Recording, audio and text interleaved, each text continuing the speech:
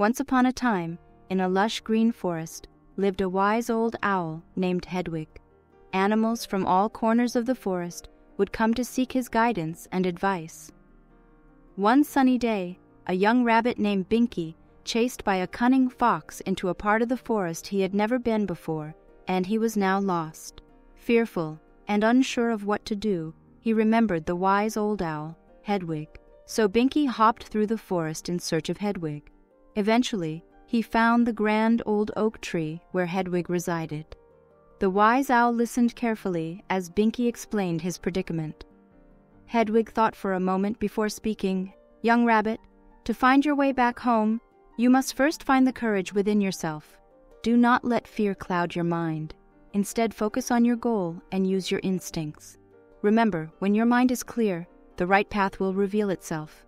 Binky thanked Hedwig for his advice and set off with renewed determination. As he hopped along, he focused on finding his way home.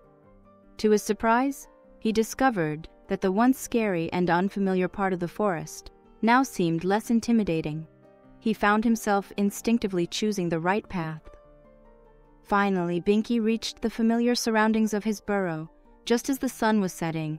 He was overjoyed and grateful for the wisdom he had received. He realized that by controlling his mind and not letting fear take over, he was able to find the right path. From that day on, Binky shared Hedwig's wisdom with all the other animals in the forest. The wise words of Hedwig, who controlled his mind completely, had become the gospel for the entire forest. And so, the animals lived happily, knowing that with a clear mind and a focused heart, they could achieve anything they set their minds to.